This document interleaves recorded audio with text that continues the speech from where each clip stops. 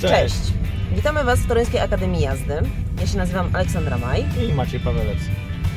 Na co dzień jesteśmy e, instruktorami doskonalenia techniki jazdy w Toruńskiej Akademii Jazdy, jak również zawodnikami rally crossowymi w teamie ISS RX. Mamy dzisiaj do przetestowania Audi S8. Mega mocne auto. Ponad 600 koni, ponad 700 Nm.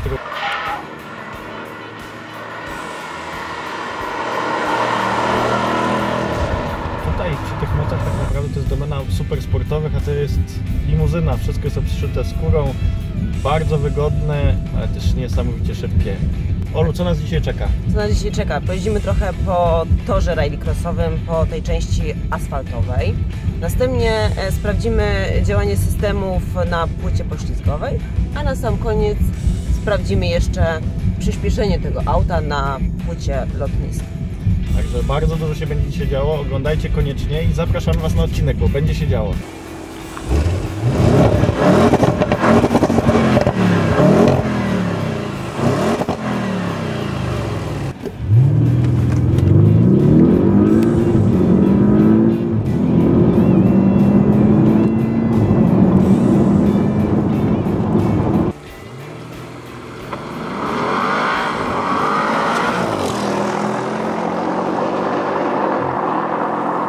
Widać, że mamy do czynienia z naprawdę mocnym autem. Aczkolwiek naprawdę nie wiem, jak inżynierowie Audi to zrobili, ale w ogóle nie czuć jego dużej masy. Prowadzi się jak prawdziwa wyścigówka.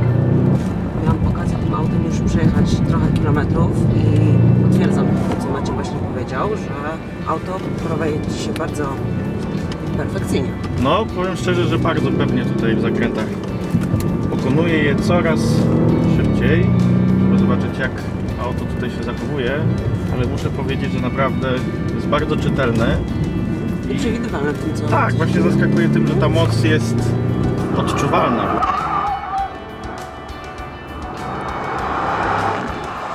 Tutaj naprawdę to jest eksplozja mocy, naprawdę, to coś niesamowitego. eksplozja mocy w aucie, które na co dzień można spotkać normalnie na drogach. Jest to Dokładnie. samochód jak najbardziej cywilny. Napęd na cztery koła też czuć jak wgryza się dosłownie w ten asfalt, nie pozwala za bardzo na jakieś tam uślizgi. No to po prostu idzie jak po szynach. To jest bardzo fajne, że można każdy element tego auta ustawić pod siebie, czy też wspomaganie kierownicy, czy też jak działa zawieszenie, napęd, e, jak ma interweniować system ESP.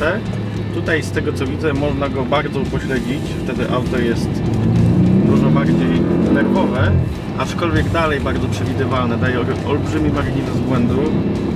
No, powiem szczerze, że jestem zachwycony, jeżeli chodzi o też hamulce, bo tutaj mamy do czynienia z ceramiczną wersją i do takiej masy auta nie czuć w ogóle zgrzania, mimo że już trochę jeździmy na tym torze, dosyć intensywnie staram się hamować, zobaczyć jak one zachowują się wtedy, kiedy są w temperaturze roboczej.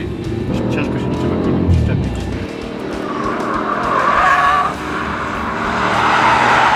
Tutaj mamy trochę takiego slipera, bo to auto z zewnątrz można poznać głównie po hamulcach i po małej, małym napisie S8. Dokładnie. Z zewnątrz ogólnie jest to auto limuzyna, tak? Jest bardzo komfortowe, bardzo wygodne w środku. E, Na trasie sprawuje się idealnie, ale jak widać w tym w trakcie jazdy po torze też bardzo dobrze sobie radzi. Tak, aczkolwiek już mogę powiedzieć, że na mój gust trochę zbyt jednak podsterowne, przy bardzo dużym dodaniu gazu, kiedy chcielibyśmy, żeby taki piękny, znany tutaj z czteronapędówek poślizg czterokołowy się pojawił, no to nie do końca na to pozwala. No wyrywa do przodu, bez uślizgu tylnej osi. Widać to jakby taką preferencję naprzód zdecydowanie, chociaż tutaj przy ciasnych nawrotach już ta preferencja czuć, że się zmienia. Także jeżeli chodzi o długie takie łuki, jak tu mamy do czynienia z, patelnią lewym, czuć, że bardzo mocno do przodu auto wyrywa i nie pozwala na takie ładne nadrzucenie tyłu. No troszkę mi to psuje od, odbiór tego auta, jeżeli chodzi o jazdę torową, ale musimy pamiętać, to jest auto, które ma To jest auto cywilne. tak, które ma się bardzo przyjemnie toczyć i dawać wrażenia z jazdy podczas jazdy tak naprawdę po ulicach to nie jest auto torowe, więc tutaj taka charakterystyka jak najbardziej pasuje do tego auta. No i ten dźwięk. Tylko ujmiemy nogę z gazu i wspaniały gang z rury wydechowej przypomina, że jednak mamy do czynienia z prawdziwym potworem. Bardzo sympatyczne, niezwykle przewidywalne auto. Zawieszenie inżynierom zajęło na pewno bardzo dużo czasu, bo jest perfekcyjnie zestrojone. Jest sztywne, jak na tonaż tego auta, a jednocześnie bardzo przewidywalne, świetnie wybierające nierówności. Tutaj mamy taki fragment toru, który jest bardzo nierówny. Świetnie sobie z tym radzi.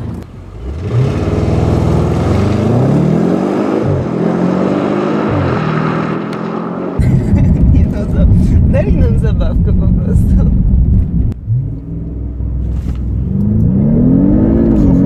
To się nigdy mi nie znudzi. Ciasno.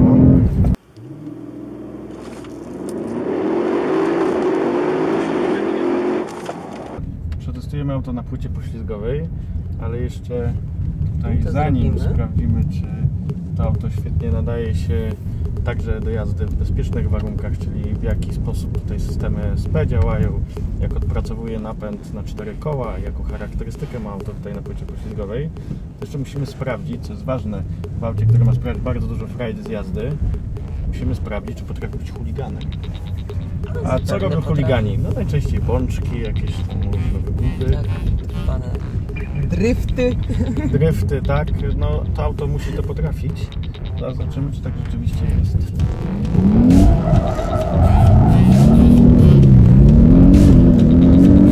Potrafi. Tak jest, potrafi. Test zaliczony na Aż okulary zgubiłam. 4 z plusem do piątki. Nie, naprawdę, jak na taką masę auto, To, naprawdę to jest wystarczające. To, co zrobiliśmy, to, co okazało, potrafi.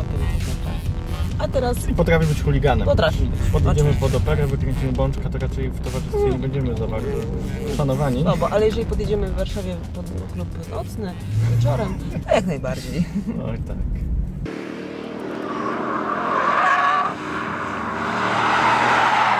Teraz jedziemy aktualnie w trybie sportowym bez systemów. Chcę zobaczyć pracę napędów. Tutaj na płycie już e, zupełnie inna charakterystyka tego auta jest. Faktycznie czuć, że to auto też potrafi dać frajdę z jazdy.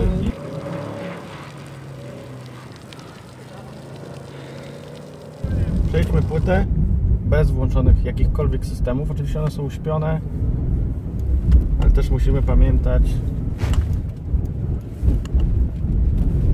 o tym, że one w krytycznych sytuacjach zawsze się załączą. Czyli tutaj co widzimy? Muskanie gazu. To auto jest tak mocne, że napędza się momentalnie i już może być za szybko na kolejne pachołek. Jak wiadomo, praw fizyki nie oszukamy. Nie oszukam. Czyli widzimy płynna jazda, Tak.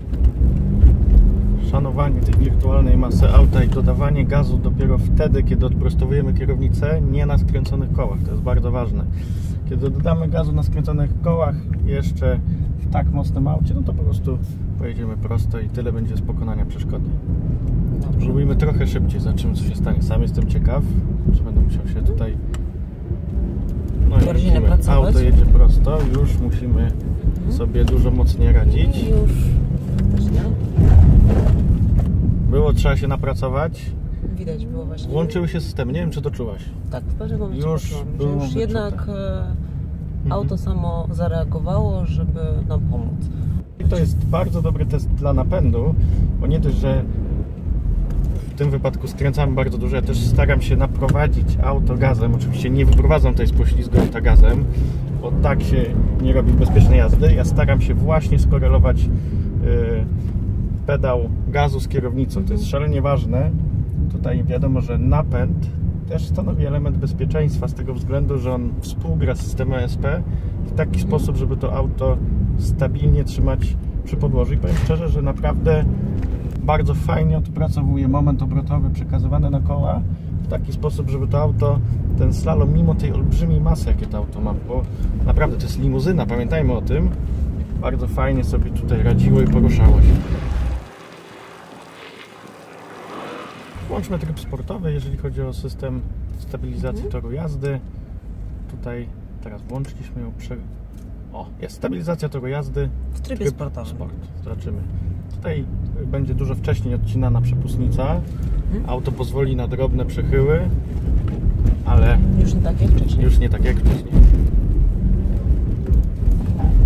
I widzimy, że oczywiście te przechyły były. Były, ale sama Tak. zauważyłam właśnie jak pracowałeś, nawet jak, jak pracowałeś Mhm. rękami na kierownicy, że było to bardziej precyzyjne i już nie... Nie musiałem tyle nie walczyć tyle z tą walczyć mocą, z tą, z tą, tą mocą. Specjalnie dodawałem dużo za dużo gazu, bo wiedziałem, że bez systemów by mnie na pewno obróciło. Tutaj w tym przypadku pozwoliłem sobie na pewną nonszalancję z gazem, ale też widzimy, jak będzie za szybko czy za dużo gazu, to system sportowy ingeruje mimo wszystko za późno. Ale w porównaniu z włączonymi systemami, no to wiadomo, że tak jest dzień do nocy.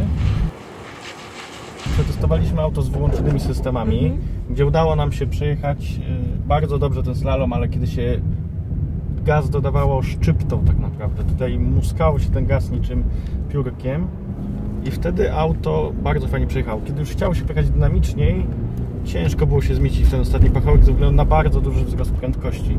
Później pojechaliśmy sobie z SP w trybie sportowym, auto nie pozwalało na za dużo szaleństwa i efekt był podobny jak kiedy muskaliśmy pedał gazu. Teraz jeździmy z włączonymi na systemami. to, żeby na przykład przerzucić na jeszcze wersję komfort?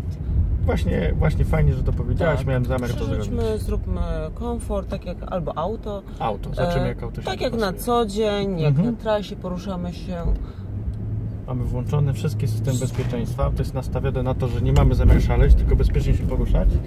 Spójrzcie, praktycznie nie muszę kręcić kierownicą. Auto bardzo przewidywalnie odpracowuje cały, cały moment obrotowy, swoją no, dużą masę. To jest fajne, ale jedźmy sobie troszeczkę szybciej. Też musimy mieć świadomość, ESP fizyki nie oszuka. Ono zmienia charakterystykę auta w taki sposób, żeby było bardziej przewidywalne. Bardzo szybko dohamowuje poszczególne koła, ale jak będzie za szybko, to w ostatni pachołek się nie zmieścimy. Taka prawda. Tu pachołek, a na drodze zakręt.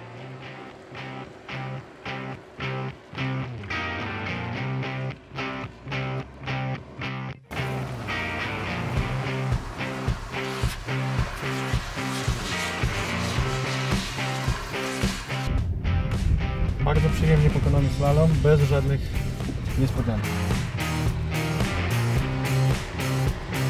To auto cechuje taki, taka przydatność na co dzień. Tym autem możesz podjechać sobie w pięknym stylu, z pięknym brzmieniem wydechu e, pod operę, ale też świetnie się bawić w takich miejscach jak tutaj. Tutaj tor jest kręty, naprawdę on nie jest wcale szybki, ale to auto po prostu fantastycznie się na nim czuje. Mimo olbrzymiej masy posiada ceramiczne hamulce, co tutaj dają na pewno bardzo dużą przewagę. Te hamulce się nie grzeją, a auto przyspiesza niesamowicie i też jest w stanie troszeczkę tym boczkiem zarzucić. Nie za dużo, nie za mało, tak żeby ze stylem pokonać zakręt. Coś niesamowitego. Strony auto, tak jak powiedzieliśmy, jest bardzo funkcjonalne na co dzień. Jadąc autostradą z Warszawy do Torunia, ustawiłam sobie, ustawiłam sobie tempomat e, z prędkością bardzo przypisową, bo 140 na godzinę. E, Tempomat jest oczywiście aktywny, więc e, do momentu wyłączenia tempomatu moja noga nie znalazła się na pedale ani hamulca, ani gazu. Auto samo przyspieszało, samo zwalniało przed autami, które się przede mną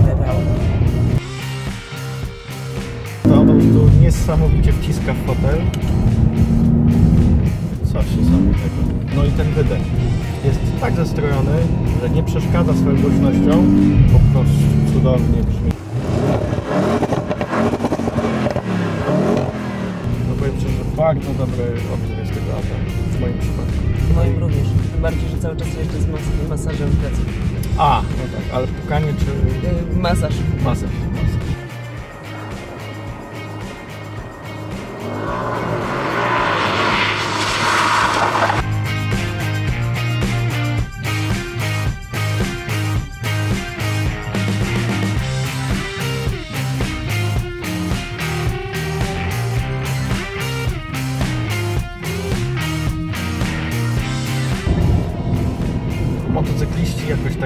Nagle wolno zaczęli się poruszać.